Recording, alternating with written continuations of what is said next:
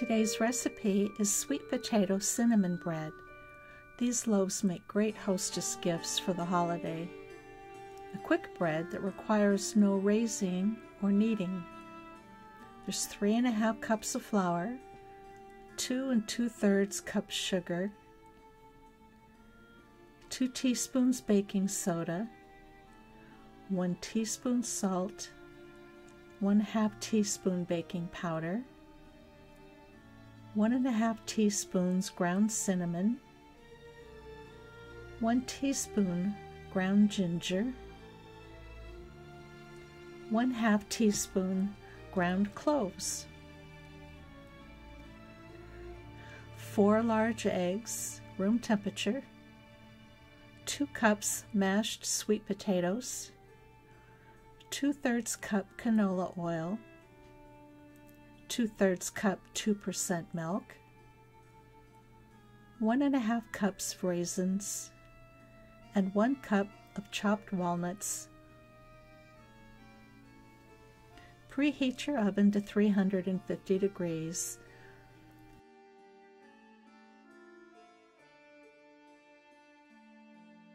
And grease your loaf pans.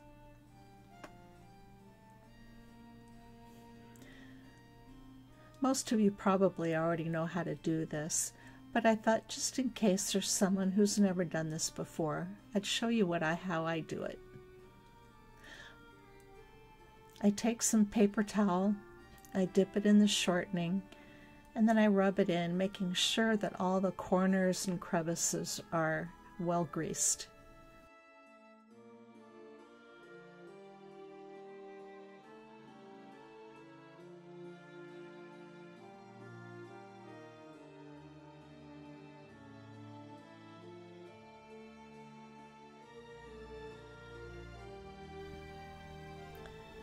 In a large bowl, you're going to whisk the first eight ingredients. So that means put in your flour, your sugar,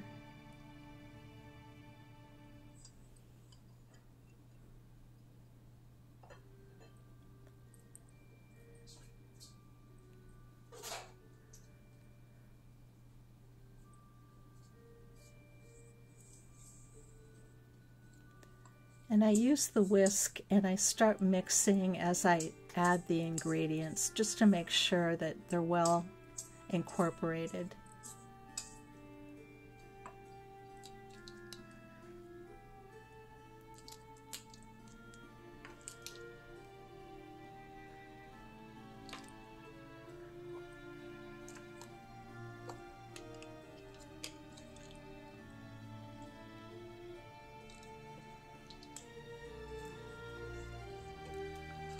So then add the baking soda.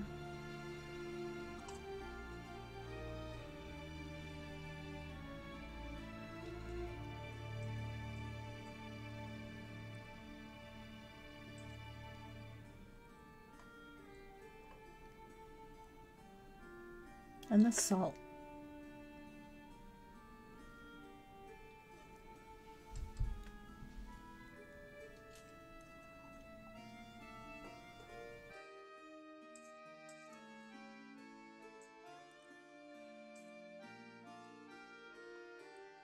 When you're adding your chemically reactive ingredients, it's important to make sure that you add the correct amounts. And those ingredients would be things that are your leavening agents, things like baking soda, baking powder, salt, and in other recipes it would also include vinegar, And your eggs, they're also leavening agents. But when it comes to your flavor ingredients, you can change those up a little bit to conform to your own taste.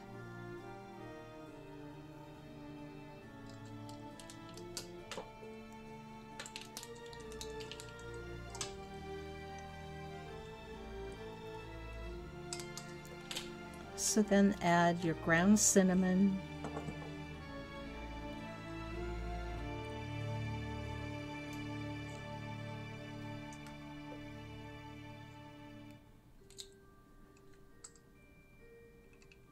and ground ginger.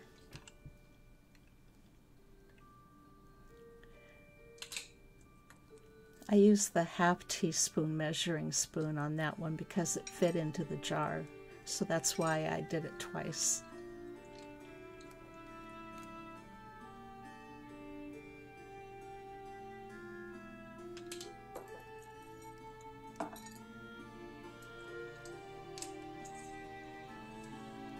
and stir that up well so that everything is blended in and you're not seeing the streaks of any of the ingredients.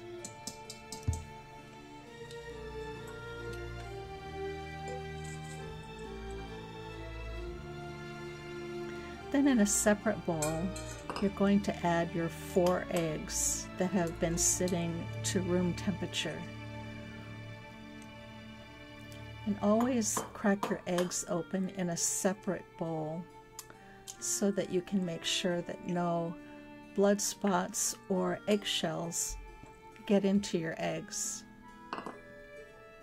And if they do, you can take them out, as you'll see here.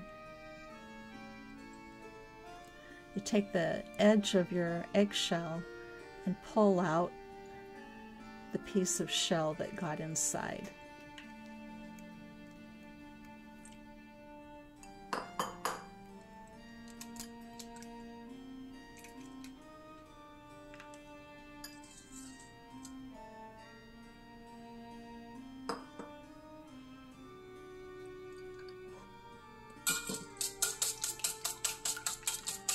And whisk those up.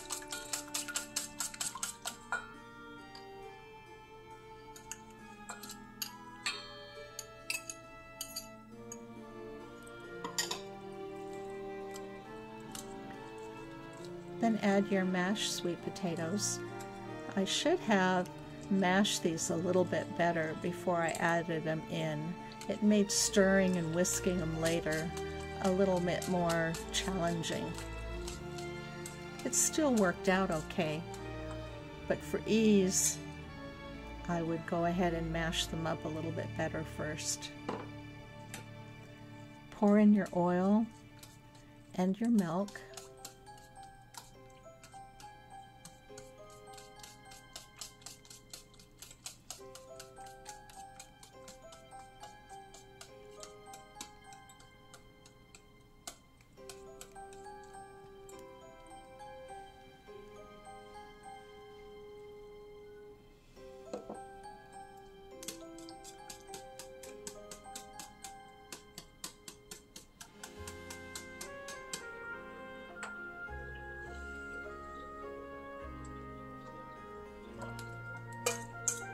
And when you're going to use ingredients like baking powder, it's normally wise to not over stir it. So even though the milk wasn't entirely incorporated, I knew that I was going to be stirring it some more here.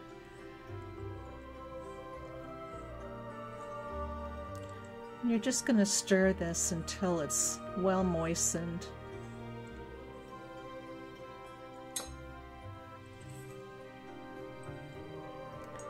Again, I didn't completely incorporate all the flour because I knew I was going to be folding in these ingredients.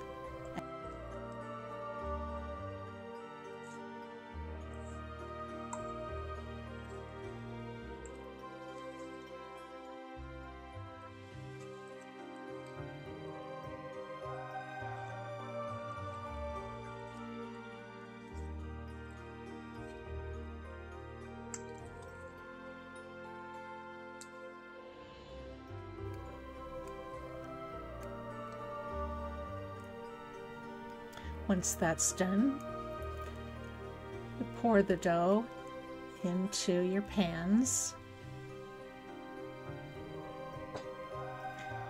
This will make either two large loaves or four small ones.